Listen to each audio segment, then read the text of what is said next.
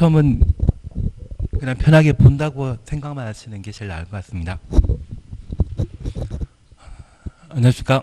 이번 시간은 25페이지부터 해 나가도록 하겠습니다. 그래서 지난 시간에는 24페이지까지 용어 정의와 관련된 기본적인 내용을 함께 보셨고 이번 시간에는 25페이지부터 해 나가십니다.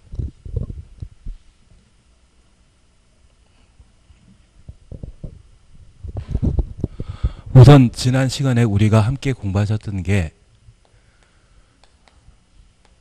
이번 시간이 부동산 공법이라는 것을 함께 공부한 적이 있습니다. 그래서 우리 시험 범위가 되게 되는 120개 부동산 공법 중에 6개 법령에 관한 사항들을 함께 보시면서 출제 경향 등에 관한 내용들을 살펴보셨는데 지난 시간에 우리가 공부하시면서 오늘도 항상 기억하고 계실 것이 이 공법은 공공복리, 공익을 달성하기 위해 국가행정청이 일반 국민에게 규제를 가하는 법률 체계였습니다. 그래서 사법은 개인과 개인 사이에 수평 관계가 형성되는 반면 공법은 수직 관계가 형성되게 되는데 공익을 달성하기 위해 행정청이 일반 국민에게 규제를 가하게 되면 중앙 행정기관장으로서 각부 장관을 우리가 함께 보셨습니다. 여기 장관은 국토교통부 장관이 주로 나오고 나중에 농지법에 넘어가게 되면 농림부 장관 등이 나오게 됩니다. 그리고 지방자치단체를 함께 보셨는데 현재 지방자치단체는 광역 지방자치단체에 해당되는 시도, 지사와 여기 시도 지사를 특별시장, 광역시장, 도지사로 통칭하고 최근에 만들어진 세종시와 제주도의 경우에는 특별자치도와 특별자치시라 표현하고 있습니다. 이러한 시도지사를 광역지방자치단체라 표현하는 것은 관할 구역에 둘 이상의 시, 군, 구가 존재하기 때문에 광역 지방자치단체였습니다. 그래서 이 광역이라는 것은 넓다는 의미가 아니라 둘 이상의 시, 군, 구를 관할 구역에 두고 있다는 것을 살펴놓습니다. 특별히 서울특별시에는 25개 구로 그리고 경기도 등에는 31개 시군으로 구성되게 되는데 이러한 시군 구청장을 우리는 기초 지방자치단체라 표현하게 됩니다. 그래서 이 행정청과 관련되어서는 관할에 관한 문제를 살펴보시는 게 필요한데 특별히 서울특별시와 인천광역시의 경우에는 관할 구역에 구나 또는 군을 두는 경우가 있고 도의 경우에는 시군으로 행정 관할 구역이 구성된다라는 것을 파악해 놓습니다. 여기 도에 속해 있는 시 중에 인구가 50만 이상인 도시가 있다면 이러한 도시를 대도시라 표현하게 됩니다. 그리고 이 대도시에는 도지사와 유사한 권한을 대도시장이 행사하게 되는데 인구 50만 미만인 시군의 경우에는 소도시로서 도지사에 종속돼 있는 관계가 형성되지만 인구 50만 이상의 대도시의 경우에는 특별히 도지사와 대등한 권한을 가지고 있는 것으로 파악해 놓습니다. 그래서 지난 시간에 우리가 꼭 정리해 놓을 것으로서 공법과 관련되어서는 행정청에 관한 구분을 못하면 문제 푸는 것이 난감해지게 됩니다. 그리고 우리는 이 공법을 조금 정리해 놓으시게 되면 아주 우수한 점수로 시험에 합격할 수 있습니다.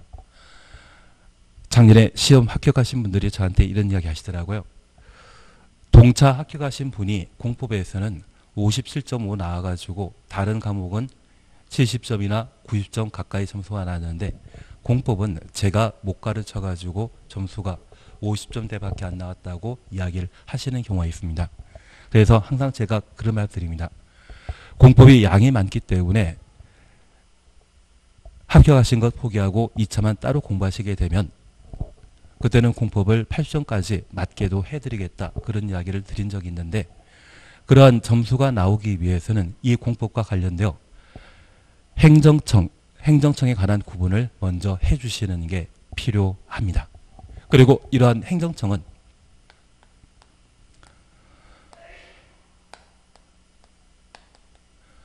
행정처분의 주체가 되고 이 행정청이 우리가 집을 짓기 위해 건축 허가를 필요로 하는데 그러한 건축 허가라고 하는 행정 처분을 행정청이 한다라는 것을 파악해 놓습니다. 그래서 이 행정 처분은 행정 행위란 말로 달리 표현할 수 있는데 우리가 민법에서 법률 행위라는 것을 공부하신 적이 있다고 하면 이번에 공법과 관련되어 행정청이 주체화되어 일정한 처분하게 되면 이를 행정처분, 행정행위라 표현하게 됩니다. 이러한 행정처분과 관련되어서는 일반 국민에게 일정한 구속력이 발생하게 되고 그러한 구속력에 따라 일정한 권리, 의무라는 게 발생하게 됩니다. 만약 내가 살 집을 만들고자 건축 허가 받았다고 하면 건물 건축할 수 있는 권리를 가진 것이고 내가 공사 도중에 집안을 잘못 건드려 이웃에 큰 피해를 줄 상황이라고 하면 그때는 공사 중지 명령이라는 행정 처분이 떨어질 수 있습니다. 그러한 공사 중지 명령 처분이 떨어지게 되면 나는 공사 중단해야 되죠. 그래서 이 행정 처분은 일정한 권리 의무가 발생하는 구속력 있는 조치가 되게 됩니다. 특별히 이 구속력 있는 행정 처분이 적법하고 정당하게 이루어져야 되는데 위법하고 부당한 행정 처분이 존재한다면 그 위법 부당한 행정 처분에 대해서도 일단은 효력 발생합니다. 다만 사후 구제 절차로서 이의 신청과 행정 심판, 행정 소송을 제기함으로써 위법 부당한 행정 처분을 바로 잡을 수 있을 겁니다. 그래서 우리는 아직 공부는 못했지만 내가 살집 만들고자 한다면 건축 허가라고 하는 행정 처분이 존재한다라는 것 확인하시고 이러한 행정 처분에는 일정한 구속력이 발생한다라는 것을 확인해 놓습니다. 그리고 우리가 공부하는 부동산 공법과 관련되어 다양한 행정 계획이 존재합니다. 여기 행정 계획은 우리가 내년에 시험에 합격하기 위한 계획 마련할 수 있죠. 그래서 내가 어떻게 공부해 나갈 것인지 이러한 계획을 마련할 수 있고 이러한 것들을 학습 계획이나 또는 공부와 관련된 방향 잡을 수 있는 계획이라 표현할 수 있습니다. 특별히 행정청도 계획을 수립할 수 있는데 행정청이 수립하는 계획이 있다면 이를 행정계획이란 말로 대신하게 됩니다. 특별히 우리가 첫 번째 함께 공부하실 내용으로 국토계획법을 살펴보게 됩니다.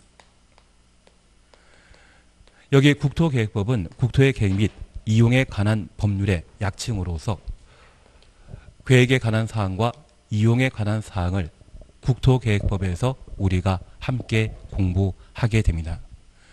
그러면 국토계획법에 등장하는 행정계획으로 첫 번째 우리는 국가 계획이라는 것을 살펴봅니다. 최근 정부에서는 3기 신도시를 발표한 적이 있습니다. 그 3기 신도시 발표하게 되면 그에 따른 도시개발 사업이 이루어지게 되는데 국토교통부 장관이 3기 신도시 발표했기 때문에 이는 국가 계획에 해당하게 됩니다. 그래서 대한민국 전 국토를 어떻게 개발해 나갈 것인지 그 방향과 집행에 관한 사항들을 각각 다루는 게 국가 계획에 해당하게 됩니다. 다만 우리가 지난 시간에 함께 공부하시면서 이제 공법과 관련되어 가장 중요한 개념으로 등장한 것이 지방 분권이었습니다. 50 때만 하더라도 국가에서 계획을 수립하면 국가에서 직접 집행했지만 지금은 지방 자치를 넘어 지방 정부라고 하는 개념이 이번 정권에서 등장했습니다. 그러면 이 지방 분권은 강화시키고 있다, 약화시키고 있다. 강화시킨다라는 것을 이해해 주시고 저 국가 계획을 이제 국가가 집행하는 것이 아니라 지방에 맡기게 됩니다.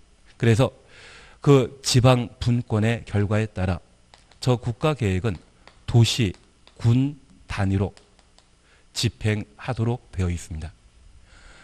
그래서 이 도시 군 계획을 수립하고 수립한 도시 군 계획에 따라 개발, 정비, 보전하는 집행을 이루도록 되어 있는데 특별히 이 도시군 기본 도시군 계획에는 국가 계획에서 장기 발전 방향을 제시했다면 저 방향은 우리 개개인을 기준하면 꿈이고 그리고 비전이란 말로 대신 할 수 있을 겁니다. 그런 비전을 국가 계획에서 마련했다면 도시 군 단위로 집행하고자 할 때 이 도시 군 단위에 장기 발전 방향을 제시하게 되는 도시군 기본 계획을 수립하여 이 도시군 기본 계획이 국가 계획에 부합하는지 확인해야 됩니다. 그리고 이 도시군 기본 계획을 수립하면 국가 계획에 부합하다면 한다면 상급 행정청으로부터 승인 받아 이 도시군 기본 계획에 따른 하나하나의 집행을 하게 되는데 그 집행 계획으로 우리는 도시군 관리 계획을 함께 살펴본 적이 있습니다. 그래서 서울이란 도시나 또는 전국의 200여 개 다양한 도시군이 성장 발전하고자 하는 장기 발전 방향을 제시하는 도시군 기본 계획이 국가 계획에 부합하는지 확인받고 확인되면 이 도시군 기본 계획에 따라 구체적인 개발 정비 보전을 위한 집행을 하게 됩니다. 그 집행을 결정하는 행정 계획을 도시군 관리 계획이란 말로 대신하고 이 도시군 관리 계획으로 결정하게 되면 구체적인 개발 사업이 이루어지게 됩니다. 다만 우리가 하나 이해하실 것이 있습니다. 전국의 200여 도시는 자신 혼자 독자적으로 성장 발전하는 게 곤란한 경우가 있습니다. 다른 도시의 도움을 받는 경우가 필요한데 그런 다른 도시의 도움을 받고자 도시 군 기본 계획을 수립하는 자가 인접한 특광 시군의 관할 구역 전부 또는 일부를 대상으로 우리 도시의 성장 발전에 필요한 도시 분 기본 계획을 수립하고자 하는 때 내 관할을 벗어났기 때문에 그곳에 시장 군수와 협의 거쳐 도시군 기본 계획을 수립할 수 있습니다. 다만 협의가 성립되지 않는다면 도시군 기본 계획을 수립할 수 없습니다. 사실 우리 주변에는 고속도로나 KTX 또는 지하철, BRT라고 하는 다양한 교통 체계가 갖춰지게 됩니다. 그러면 우리 행정 관할 구역 아닌 특광시군, 도시군 안에 도로 만드는 때는 해당 도시군을 책임지고 있는 특광시군이 도로 설치와 관련된 도시군 기본 계획을 수립하고 도시군 관리 계획으로 도로 설치를 결정하여 설치하면 되지만 이웃한 도시와 연결되는 고속도로나 KTX 만들고자 한다면 이때 관할을 벗어났기 때문에 해당 시장 군수와 협의를 거쳐 도로 설치에 관한 도시군 기본 계획을 수립할 수 있습니다. 다만 해당 시장 군수가 협의를 안 해준다고 하면 그때는 도시의 성장 발전을 포기한다? 계속 해야 된다. 계속 해야 될 겁니다.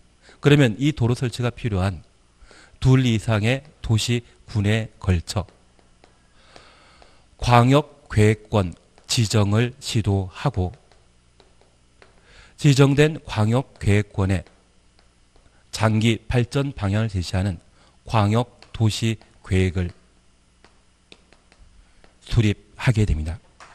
특별히 이 광역 계획권을 지정하는 자는 오늘 우리가 정리해 나가실 내용으로 나중에 천천히 보시겠지만 국토교통부 장관과 도지사가 광역계획권을 지정할 수 있습니다. 이 광역 계획권이 지정되게 되면 KTX나 도로 설치가 필요한 곳에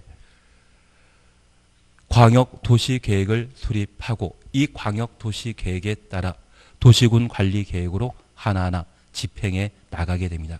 그래서 이 광역 도시 계획은 둘 이상의 도시군에 걸친 합의에 해당되기 때문에 도시 하나를 대상으로 한 도시군 계획보다 그 관할 범위가 넓은 것으로서 도시군 계획의 상위 행정 계획으로 지급하게 됩니다.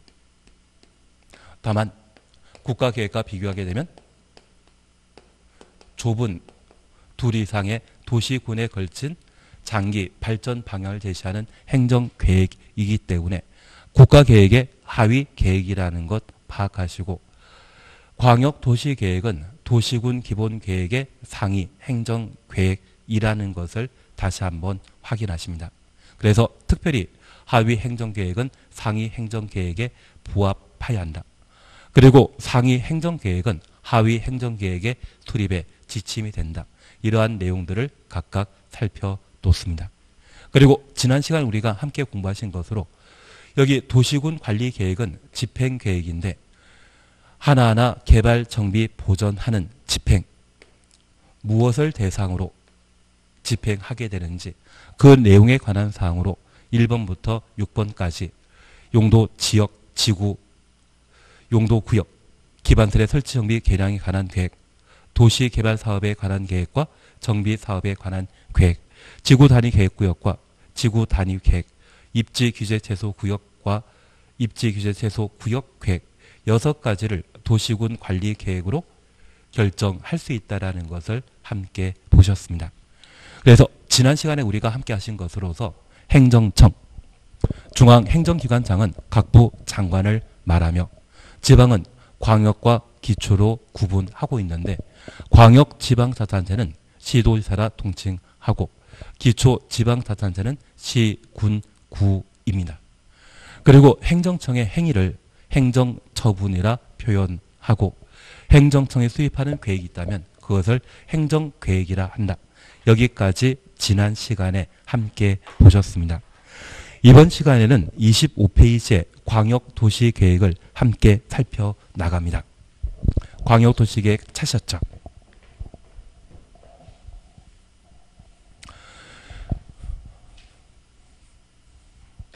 우선 광역도시계획과 관련되어 우리 시험에 자주 출제됩니다. 거의 매년 시험에 출제되기 때문에 얘는 어떻게든 그 내용을 꼭 정리해 주시는 게 출제되는 문제 하나를 해결할 수 있는 방법이 되게 됩니다. 우선 25페이지 보시면 광역도시계획과 관련된 광역도시계획의 개관 의의를 우리가 함께 볼 수 있습니다. 1번 찾으셨죠? 광역도시계획이란 인접한 둘 이상의 특별시, 광역시, 특시, 특도. 특별시와 특별자치도에 대해서는 신경 쓰지 않습니다. 얘 가지고 시험에 정답 만들어 본 적 없습니다. 그리고 시 군. 그래서 둘 이상부터 시군까지 가로 해놓습니다. 단위로 지정된 광역계획권에 대해 광역계획권 주었습니다. 공간 구조 및 기능을 상호 연계시키고 환경을 보존하며 광역시설을 광역시설 주었습니다. 체계적 정비하기 위해 수립하는 장기 발전 방향을 제시하는 행정계획을 광역도시계획이라 표현하게 됩니다. 그래서 첫 번째 우리 봐주실 것이 광역도시계획의 의, 개념에 관한 사항을 함께 보시는데 이 광역도시계획은 광역계획권의 장기 발전 방향을 제시하는 행정계획을 광역도시계획이라 표현하게 됩니다. 첫 번째 우리가 이해하실 것이 있습니다. 여기 광역이란 말은 도시 하나를 말한다. 둘 이상의 도시를 말한다. 둘 이상의 도시를 말합니다. 기본적으로 공법 전반에 걸쳐 광역은 둘 이상의 시군 구를 의미하게 되지만 국토계획법은 중앙에서 수립한 국가 계획을 도시, 군 단위로 집행하는 법률입니다. 그래서 통상 국토계획법에는 구청장이 등장해서는 안 됩니다.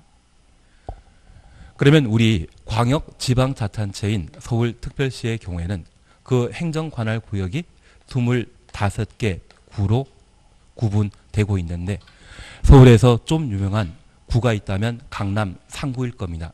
그 강남 3구를 도시라 할 수 있다. 서울이 도시이다. 서울이 도시입니다. 그래서 구는 도시가 아닙니다. 그리고 인천광역시 또는 대전광역시는 구와 군으로 행정관할 구역이 구성되어 있고 그래서 이 대전의 경우에도 대전시가 도시이지 대전의 중구 서구가 도시가 되는 게 아닙니다. 그리고 경기도에는 31개 시 군으로 구성되어 있는데 국토계획법이 이야기하는 도시 군에는 경기도는 도시가 아니고요. 충청남도의 도는 도시가 아니고 도를 구성하게 되는 시와 군이 도시 군에 해당하게 됩니다.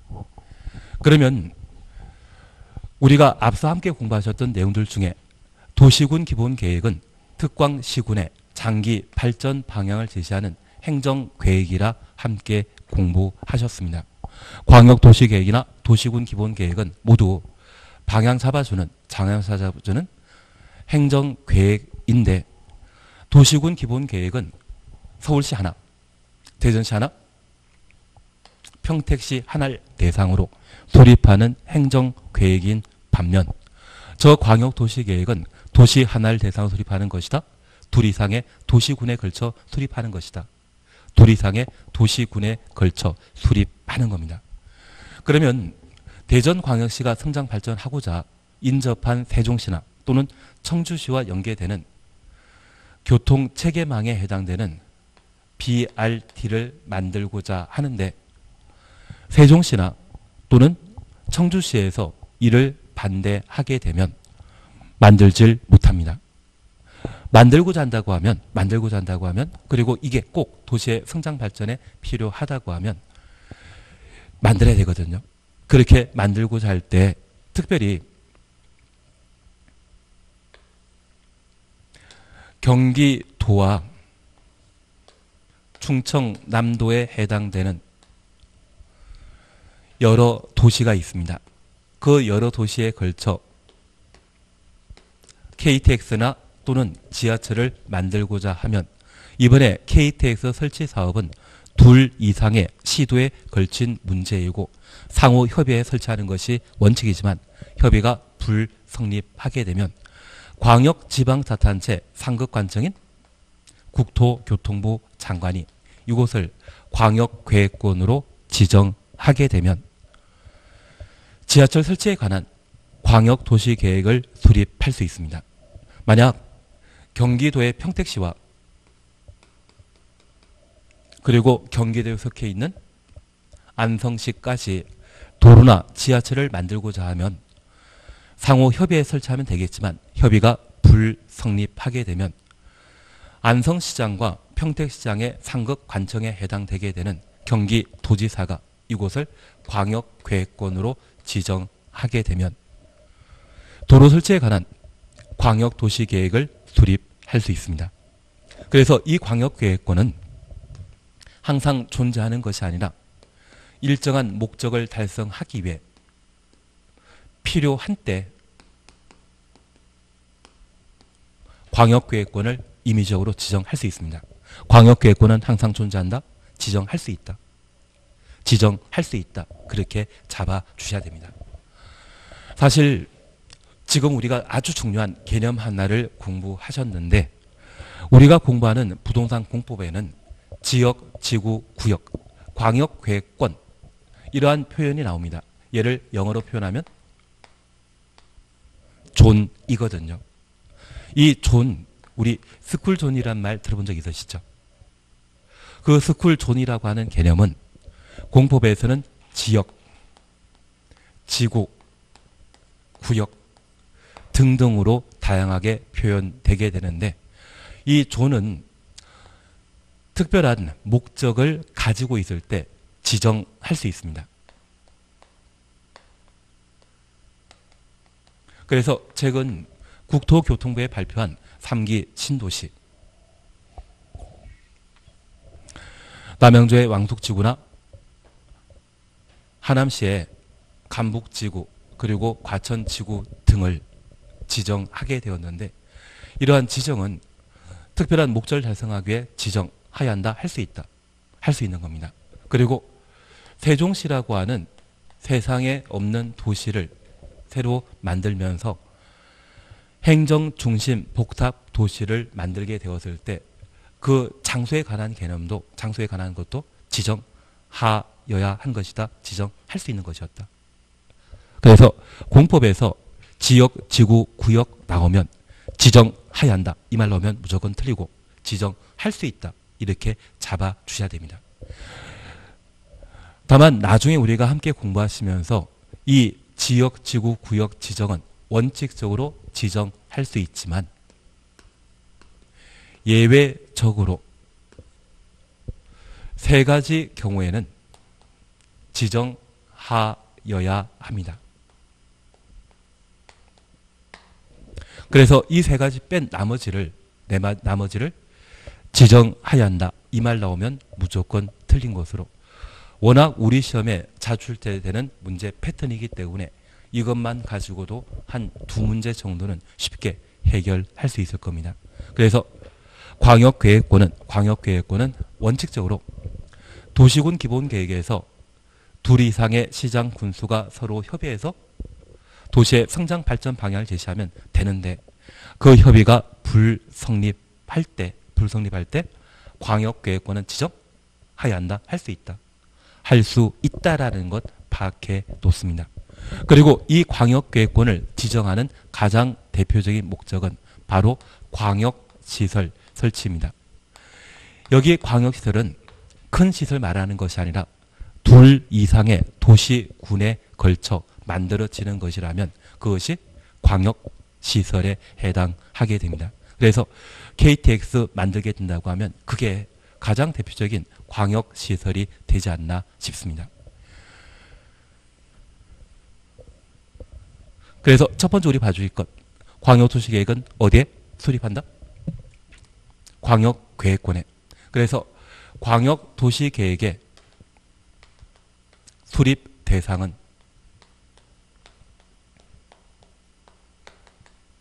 광역 계획권이라는 것 파악해 주시고 그리고 이 광역 계획권에 광역 도시 계획 수립하게 되면 어떤 절차에 따라 광역 도시 계획을 수립하게 되는지 그 절차에 관한 사항을 각각 정리하시는 게 필요합니다. 그러면 첫 번째 우리 함께 봐주실 것으로서 양가리 2번 광역도시계획 기능은 시험에 크게 나오지 않습니다. 나중에 필요하면 제가 따로 이야기 드릴 것이고 26페이지 보시게 되면 광역계획권 지정 차셨죠. 양가로 1번입니다. 국토교통부 장관 또는 도지사는 국토교통부 장관 또는 도지사 가로 해놓습니다. 얘를 우리는 국도라 할 겁니다.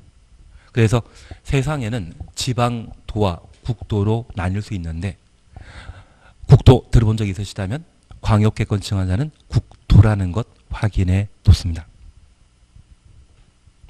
한 줄 밑에 광역시설을 체계적으로 정비하기 위해 필요한 경우 다음 구분에 따라 인접한 둘 이상의 특별시, 광역시, 시군, 관할 구역 전부 또는 일부를 대상으로 광역계획권으로 지정할 수 있다. 광역계획권으로 지정할 수 있다. 가로 해놓습니다. 광역계획권 지정은 의무적 지정 대상이다. 임의적 지정 사항이다. 임의적 지정 대상이라는 것 확인해 놓습니다. 그리고 박스를 보십니다. 광역계획권이 둘 이상의 특별시, 광역시, 도, 관할 구역에 걸쳐 있는 경우는 국토교통부 장관이 지정할 수 있고 광역계획권이 도의 관할 구역에 속해 있는 경우에는 도의사가 광역계획권을 지정할 수 있다. 그러면 다시 우리 함께 봐주실 것으로 광역계획권 지정하는 자는 국도입니다.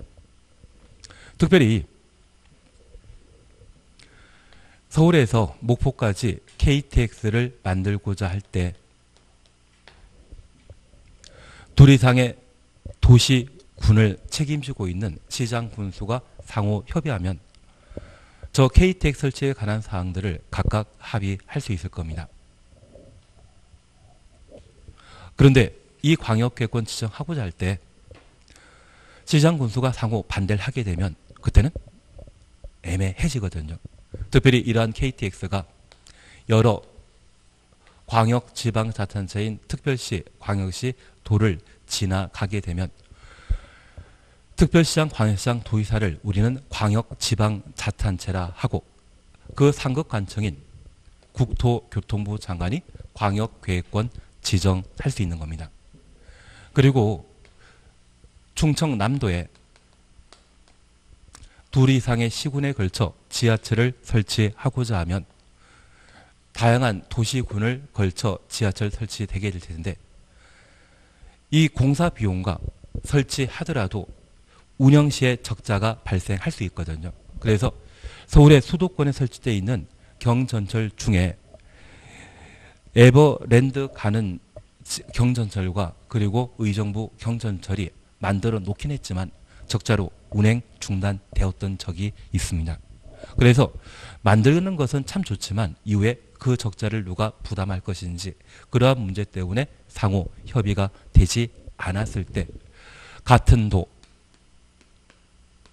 동일한 도에 이러한 지하철 설치 문제가 발생하게 되면 그때는 누가 도지사가 광역계획권을 지정할 수 있습니다. 그래서 광역계획권 지정한 자는 누구이다? 국토라는 것 기억하시고. 저 광역계획권의 지정 목적은 광역시설 설치를 목적으로 하고 이 광역시설이 둘 이상의 시 도에 걸쳐 설치할 필요가 있다고 하면 국토교통부 장관이 광역계획권 지정할 수 있고. 같은 도에 둘 이상의 시군에 걸쳐 광역시설 설치할 필요가 있다고 하면 그때는 도의사가 광역계획권을 지정할 수 있습니다. 광역계획권 지정자는 누구이다? 국토입니다. 그러면 우리 이것 하나 잠깐 이해해 놓습니다. 대전이라고 하는 광역시가 있습니다. 이 대전에는 여러 구가 존재하는데 이 대전 광역시에 광역 계획권을 지정할 수 있다? 대전은 둘 이상의 도시이다? 도시 하나이다. 도시 하나입니다. 도시 하나에는 광역계획 지정될 수 없습니다.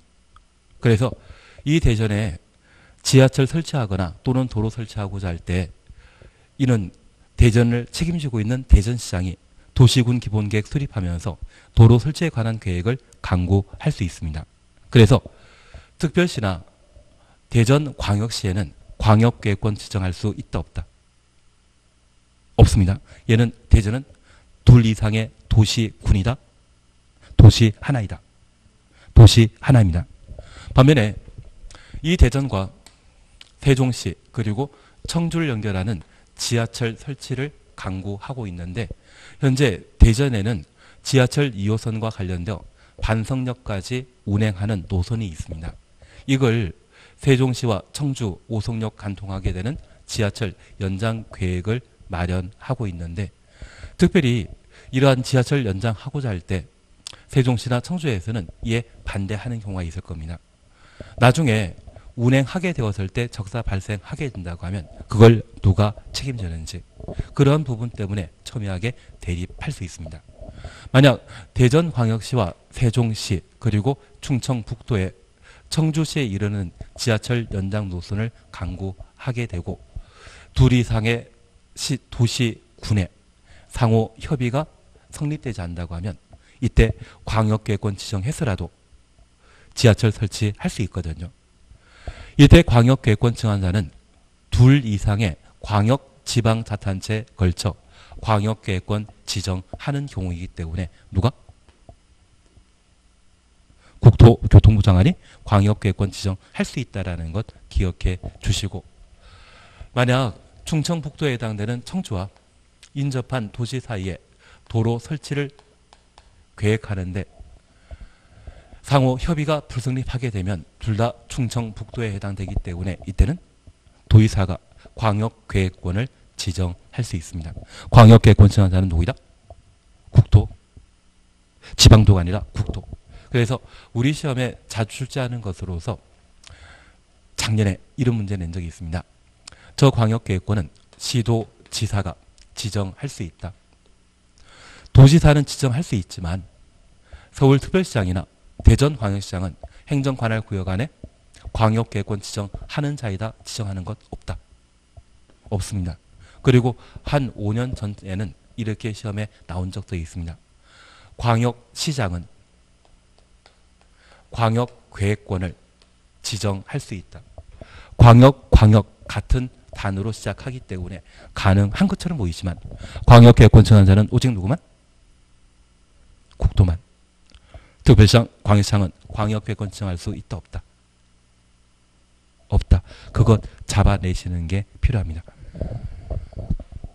지금 우리 다시 꼭 기억하실 게 11, 12 과정은 따로 복습은 필요 없겠지만 최소한 국토계획법을 12문제 맞춰 나가기 위해서는 국토계획법에 다루고 있는 도시군이 어떤 의미를 가지는데 이 도시군은 특별시와 광역시와 시군을 약칭하면 그게 뭐다? 도시군입니다. 그래서 각각의 도시마다 성장 발전을 위한 장기 발전 방향을 제시할 수 있는데 혼자 성장 발전하기 곤란하고 이웃 도시의 도움이 필요하다고 하면 둘 이상의 도시에 걸쳐 장기 발전 방향 비전을 마련할 수 있거든요. 그런 비전을 광역 도시 계획이라 하고 이 광역 도시 계획은 둘 이상의 어디에 수립한다? 특별시, 광역시, 시 군에 수립하게 됩니다. 만약 서울과 인천을 연결하게 되는 도로 설치하고자 한다고 하면 광역 지방자치단체에 걸쳐 도로 설치하는 것으로 상호 협의가 성취된다면 상급 관청인 국장이 광역계획권 지정할 수 있고 대전과 세종시 그리고 청주에 걸친 지하철 설치와 관련된 광역 도시 계획을 수립하고자 한다면 이도 둘 이상의 시도에 걸친 문제이기 때문에 국장이 광역계획권 지정할 수 있습니다. 반면 평택과 안성은 같은 경기도에 속해 있는데 그 두 도시의 도로 설치에 관한 광역 도시계획 수립하고자 광역 계획권 지정하는 때는 같은 도이기 때문에 누가 도의사가 광역 계획권 지정할 수 있습니다. 최근 서울에는 동부선이라고 하는 경전철을 새로 만들고자 강구하고 있는데 서울 내부에 만들어지기 때문에 도시군 기본 계획으로 동부선 경전철 만드는 것을 강구하면 됩니다. 반면에 대전시 지하철 2호선과 세종시와 청주를 연결하는 지하철망을 설치하게 되면 세종시 같은 경우에는 세종시 같은 경우는 이 노선을 새로 만들고자 할 때 현재 KTX가 진학하고 있지만 행정 중심 도시에 해당되는 세종시의 경우에는 KTX 정차역이 없습니다. 그래서 청주 쪽에서는 열심히 반대하고 있지만 이 세종시 인구가 지금 30만 넘거든요. 이게 50만 이상 되게 되면 세종 KTX 역사가 만들어지게 됩니다. 그 세종 KTX 역사역이 나중에 지하철 예상되는 금남면 일대 만들어지게 될 겁니다. 그래서 나중에 시간 되시게 된다고 하면 그 지하철이 만들어지고 KTX나 또는 터미널이라는 게 만들어지게 되면 도시의 중심, 중심적인 상업 기능 제공하기 때문에 땅값 올라갈 수 있는 여지가 많고 이곳이 현재 개발 제한 구역으로 묶여 있지만 어디 좋은 땅이 나와 있으면 저한테 소개시킬 것 아니시죠? 일단 내가 부자 돼야 되기 때문에 나부터 살아야 되지 않겠습니까? 그래서 이 광역도시 계획은 광역도시 계획은 둘 이상의 도시에 걸친 성장 발전 방향을 제시하는 것으로서 얘를 잘 보게 되면 어디가 돈벌이 될 것인지 그걸 파악할 수 있는 행정 계획이 되게 됩니다. 가장 중요한 건 광역 계획권은 누가 지정할 수 있다? 국도. 둘 이상의 시도에 걸친 것이라면 국장이. 같은 도라고 하면 도의사가.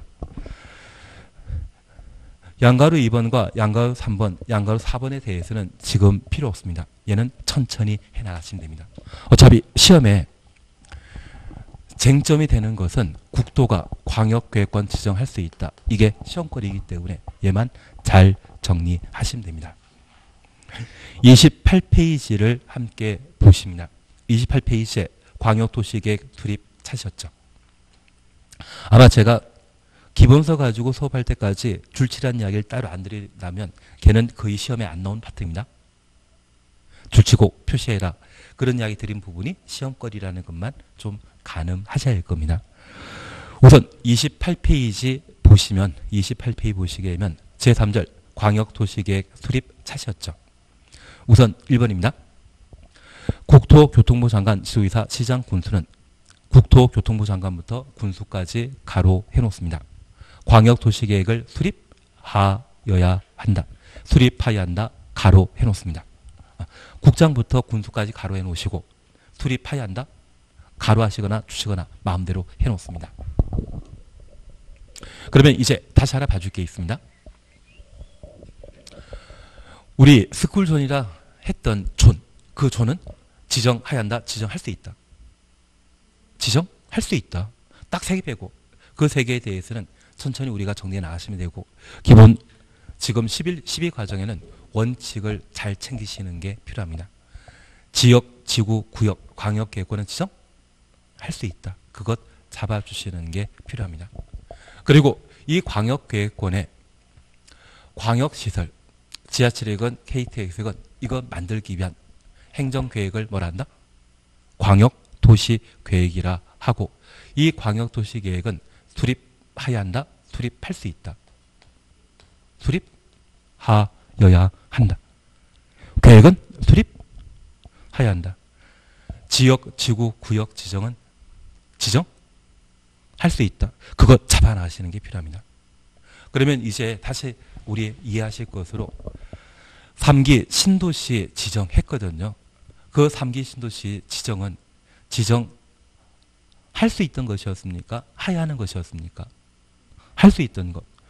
다양한 도시가 있는데 그 중에 서울의 주택난을 해결하기 위한 3기 신도시 지정은 필요한 곳에 지정할 수 있는 사항이었고 그리고 이러한 존이 정해지게 되면 이곳에 어떻게 개발, 정비, 보전해 나갈 것인지 비전을 제시하게 되는 행정계획은 수립하여야 합니다. 그래서 행정계획은 수립하여야 한다.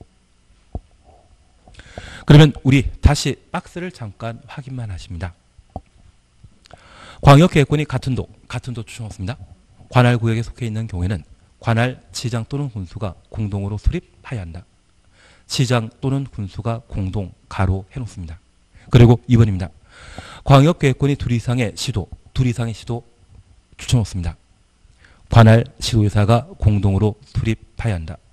시도 지사가 공동 가로 해놓습니다. 그리고 3번입니다. 광역계획권 지난 날부터 3년 지날 때까지 3년 동원해 놓습니다.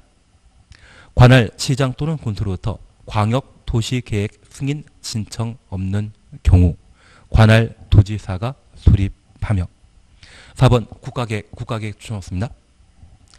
관련된 광역도시계획 수립이 필요한 경우 광역계획권 지날부터 3년 지날 때까지 3년 동원해 놓습니다. 관할 시도지사로부터 광역도시계획 승인 신청 없는 경우에는 국토교통부 장관이 수립하게 됩니다. 그리고 양가로 2번 예외 차셨죠. 1번 국토교통부 장관은 시도지사가 요청하는 경우 요청 추천없습니다. 한 줄 밑에 시도지사와 공동으로 광역도시계획 수립할 수 있다. 공동 추천없습니다. 그리고 2번입니다. 도지사는 시장 또는 군수가 요청하는 경우 요청 추천없습니다. 관할 시장 또는 군수와 공동으로 공동 추천없습니다. 광역도시계획 수립할 수 있고 3번 도의사는 시장 군수가 협의 거쳐 요청하는 경우 협의 추천없습니다. 요청 동원해 놓습니다. 단독으로 동원해 놓습니다. 광역도시계획 수립할 수 있다. 이 3의 경우에는 3의 경우에는 도의사 혼자 단독으로 광역 도시 계획을 수립하는 경우입니다. 그러면 우리 양가로 1번의 원칙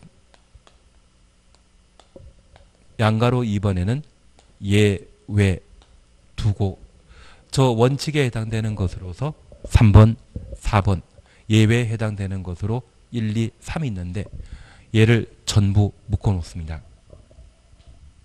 3, 4, 1, 2, 3 모두 묶어 놓으시고 얘는 예외적인 광역도시계획 수립에 관한 사안이다. 그렇게 생각해 주셔야 됩니다.